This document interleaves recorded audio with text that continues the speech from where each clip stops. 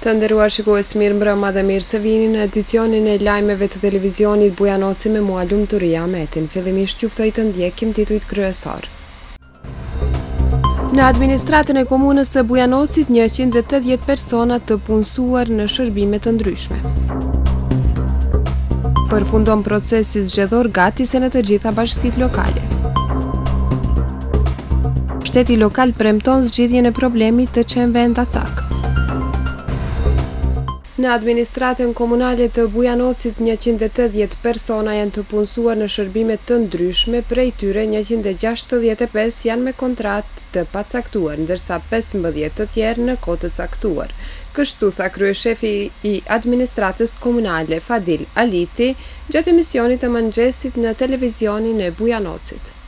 Në administratën e komunës së Bujanocit njëqind e tetëdhjetë persona janë të punësuar në shërbime të ndryshme, Prej tyre, njëqind e gjashtëdhjetë e pesë janë me kontratë të kohë të pacaktuar, ndërsa pesëmbëdhjetë të tjerë në kohë të caktuar. Kështu tha kryeshefi i administratës komunale, Fadil Aliti, gjatë emisionit të mëngjesit në Televizionin e Bujanovcit. Me këtë rast Aliti tha se në administratën e komunës së Bujanovcit momentalisht nuk është e mundur punësimi i punëtorëve të rinj me kontratë të pacaktuar. Kjo si pasojë e vendimit të Qeverisë së Serbisë. Ne do të mundohemi që të rrisim numrin e punëtorëve, mirëpo shumë është problem momenti i tanishëm për shkak se qeveria ende nuk e ka hek ndalesën rreth punësimit të punëtorëve të ri, kështu që mundësia jonë është vetëm të marrim punëtorë në kohë të caktume, kështu që Njëherë për njëherë qysh osht gjendja është problem rreth punësimeve të reja të. A siç ishte lajmëruar nga qeveria se dy mijë e tetëmbëdhjetë do të jetë vit. Po ajo po lajmërohet mirëpo po vazhdohet ende.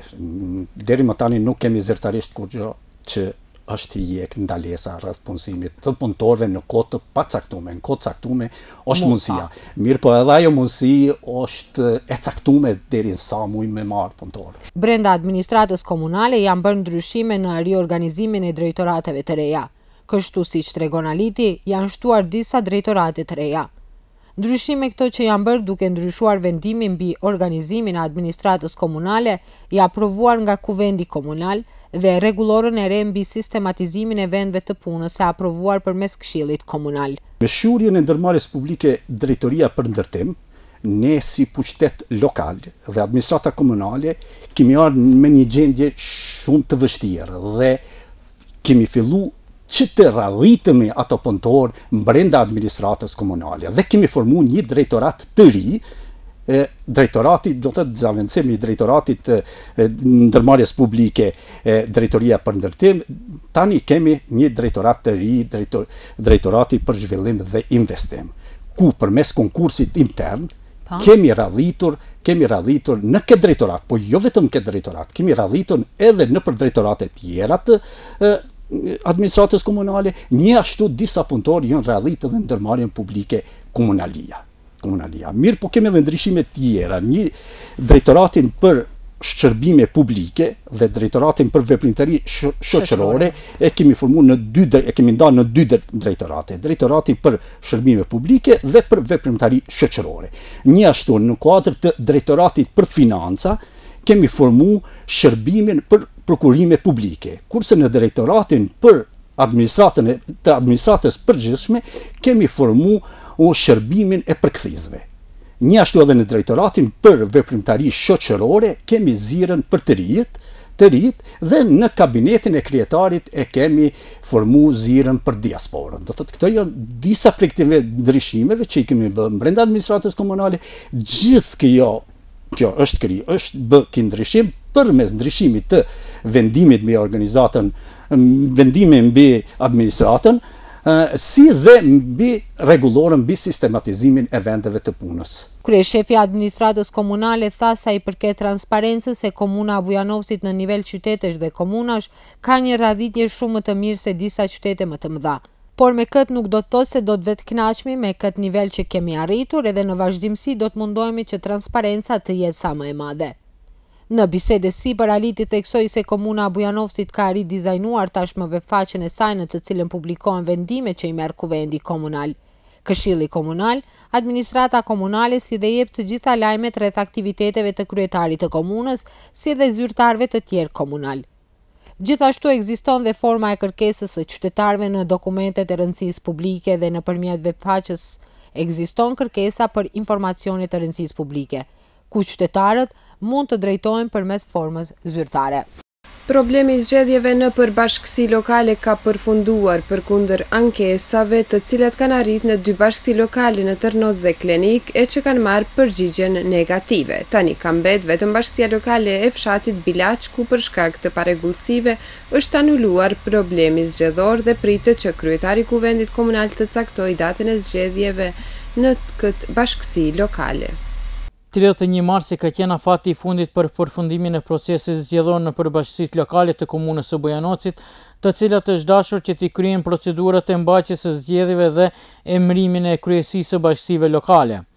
Sipas Selami Mustafa, sekretari i Kuvendit Komunal të Bujanocit, pas njoftimit për mbajtjen e zgjedhjeve, të gjithat bashkësitë lokale e kanë respektuar afatin kohor dhe deri më tridhjetë e një mars i kanë përfunduar proceset zgjedhore. Shumica e bashkësive lokale kanë zgjedhë organet e bashkësive lokale, kryetarin, zavencin, këshillin e bashkësive lokale. Kemi pasur dy ankesa në bashkësitë lokale, në bashkësinë lokale Tërnos dhe bashkësinë lokale Klenik, të cilët janë ankuar si shkallë e parë tek Kuvendi Komunal.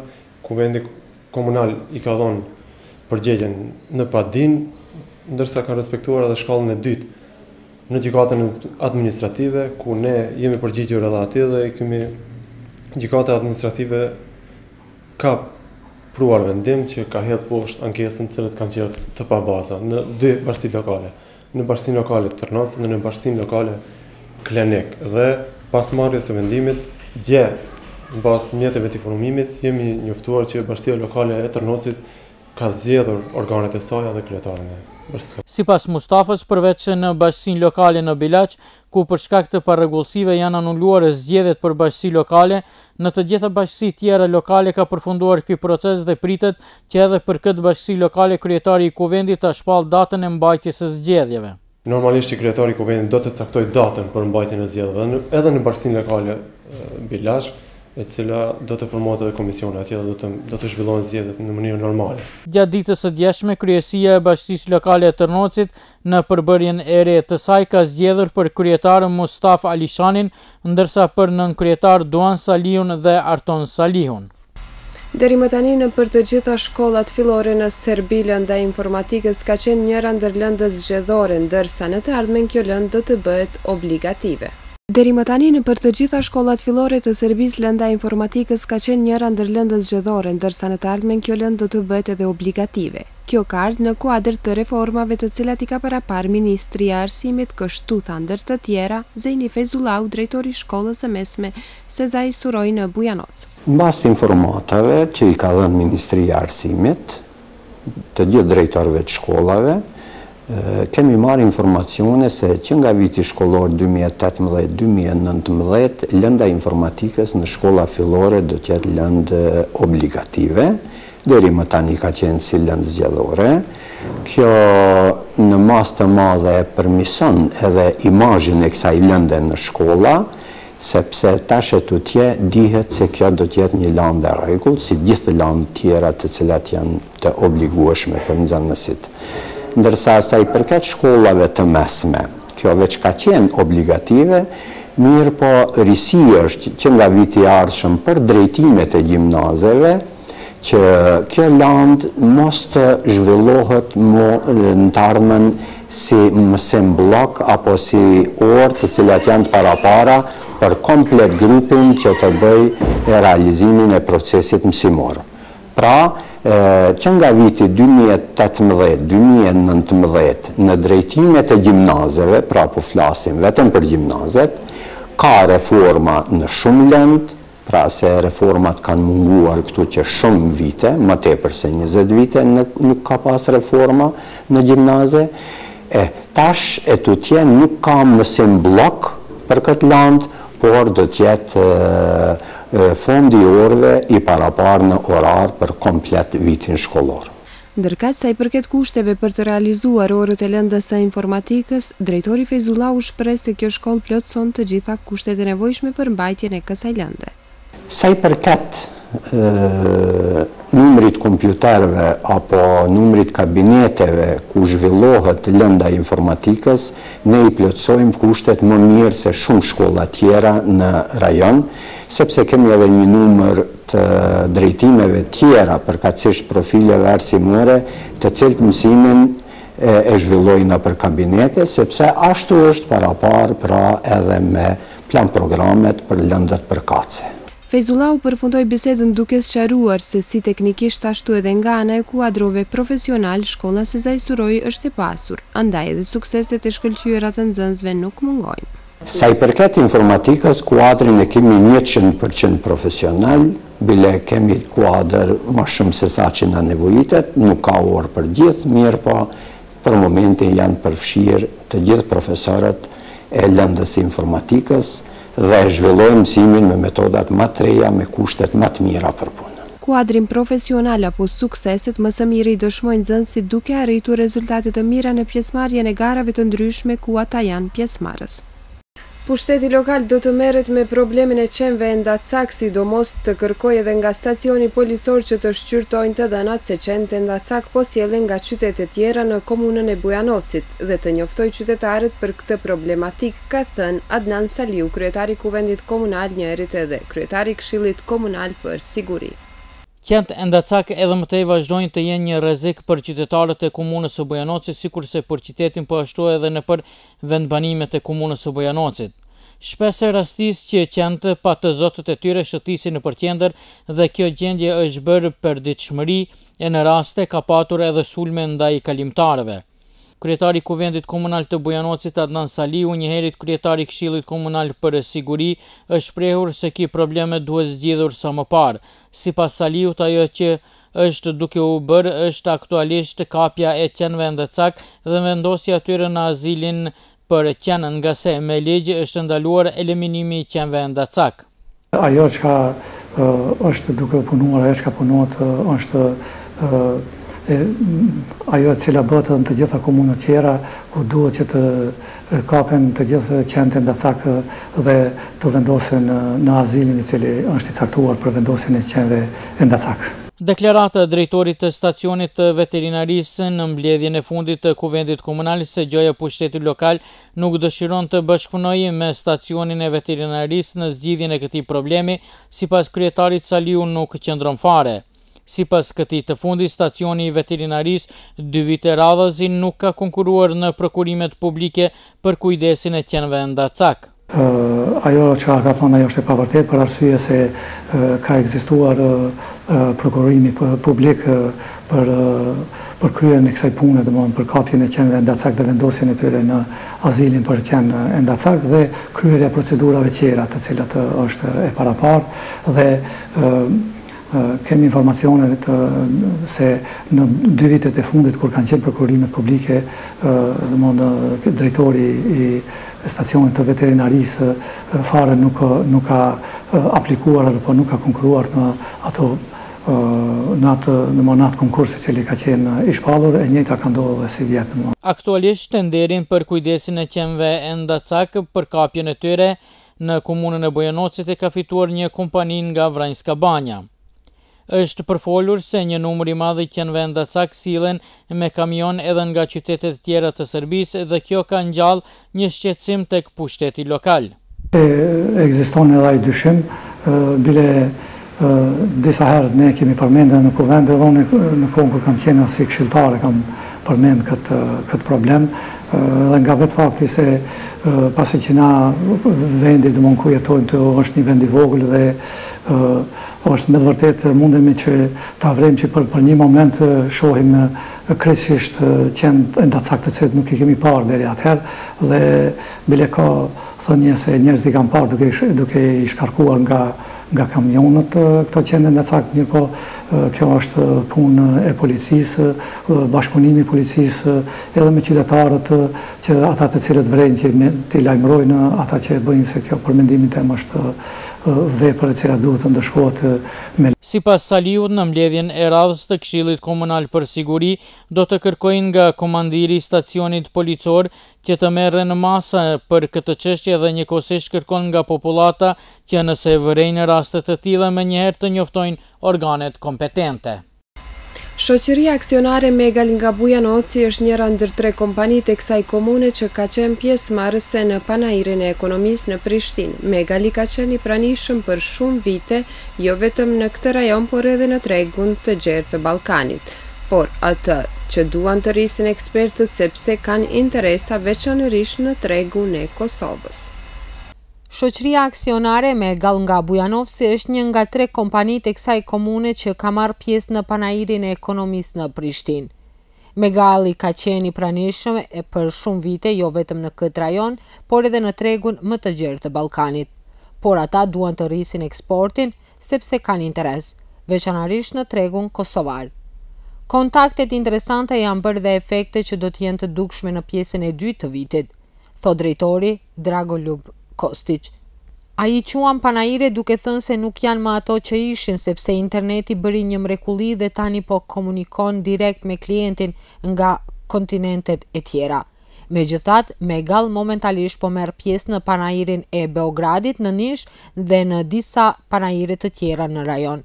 Më parë, gamën e produkteve e prezentuan edhe në Moldavi. Mi smo izlagali u okviru Privredne komore. Bilo je tu puno kontakata i kako sa dosadašnjim e, kupcima i onima koji su sa nama kontaktirali direktno i oni koji su potencijalni kupci. E, tako da o pravim efektima tom ćemo moći da govorimo tek na kraju, odnosno drugom polovinom, o, o, polovinom ove godine. E, nadam se e, da će u ovoj godini doći do povećanog e, plasmana na području Kosova i Metohije, a mi smo i do sad imali kupce, konkretno imamo kupce iz hidroterma, hidroterm Gilane, ali ima i drugih e, zainteresovanih iz Peći, Prištine i drugih gradova sa područja Kosova.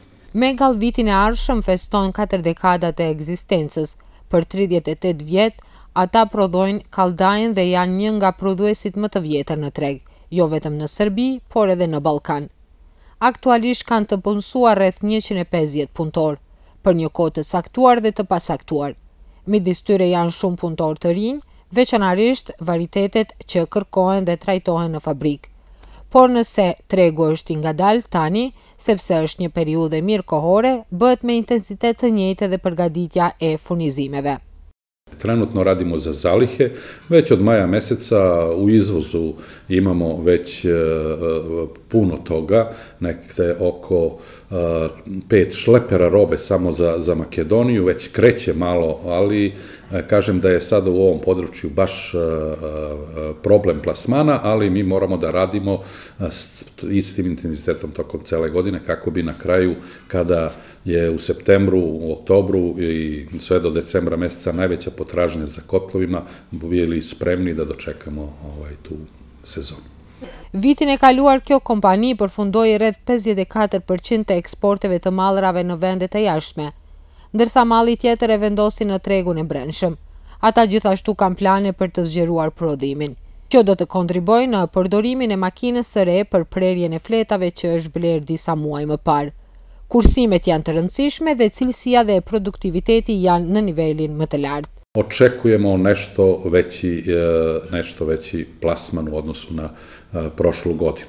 To naravno omogućuje nam i daje nam nadu da će to tako biti i nabavka savremene mašine, takozvane fiber laser, to je mašina za sečenje lima koja daje i veću produktivnost, veći kvalitet, a i e, veću mogućnost da za izradu najrazličitijih kotlova i e, da se zadovolje zahtevi današnjeg savremenog tržišta.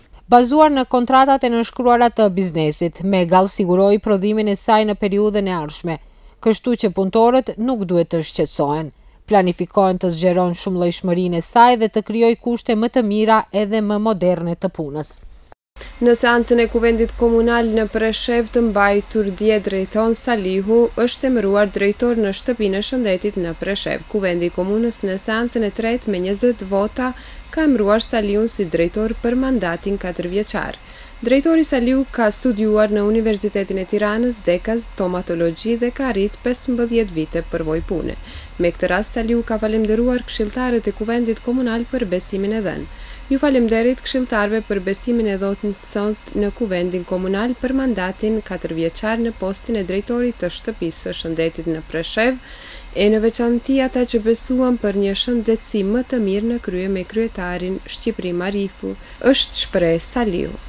Vazhdojmë me një lajm nga sporti, Liverpool ka shënuar fitore të jashtëzakonshme në gjysëmfinalen e Ligës së Kampionëve me rezultat të thellë pesë me dy, ndërsa sonte do të zhvillohet gjysmëfinalja e dytë mes Bajernit të Mynihut dhe Realit të Madridit në orën njëzet e katërdhjetë e pesë minuta. Liverpuli ka shënuar fitore të jashtëzakonshme në gjysëmfinalen e Ligës së Kampionëve. Reds ka mposhtur në Anfield me rezultat pesë me dy Romën e cila kishte eliminuar Barcelonën para dy javësh. Heroi i kësaj ndeshje padyshim ishte Mohamed Salah, përveç që shënoi dy gola, ai dhuroi edhe dy asistime, shkruan Indeksonline. Dy gola të tjerë i shënoi edhe Roberto Firmino ndërsa në listën e realizatorëve u regjistrua edhe Sadio Mane. Roma u ndez vetëm në minutat e fundit ku arriti të shënojë dy gola së pari Dzeko e më pas Perotti me penallti. Ndeshja e kthimit në Olimpiko të Romës do të zhvillohet të mërkurën më dy maj. Skuadra Bayern München pret në shtëpi kampionin aktual europian Real Madrid. Ndeshja e parë gjysëmfinale në Ligën e Kampionëve mes dy gjigantëve zhvillohet në Allianz Arena nga ora njëzet e dyzet e pesë minuta.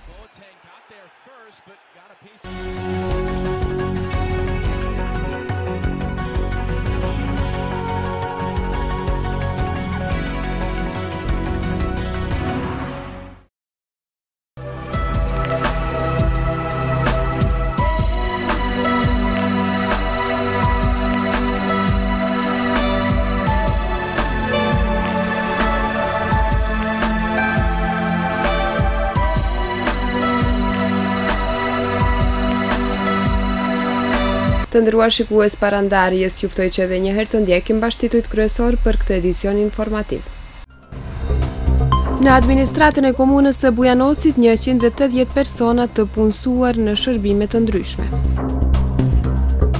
Përfundon procesi zgjedhor gatise në të gjitha bashkësitë lokale. Shteti lokal premton zgjidhjen e problemit të qenve endacak. Ishte kjo tëra sa i përket lajmeve të ditës së sot me, unë falemnderoj shumë për vëmendjen tuaj bashkë mirupafshim.